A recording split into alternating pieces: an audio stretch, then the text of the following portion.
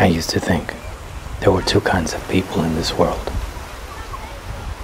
But I'm not sure of anything anymore. Except this.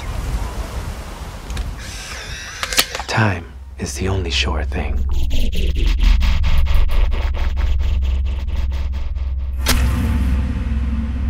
Downloading new country now. Here's what's trending on 95. Enough for politics. Now for the latest and tragic news. The search has been called off for Mrs. Cindy Cordova.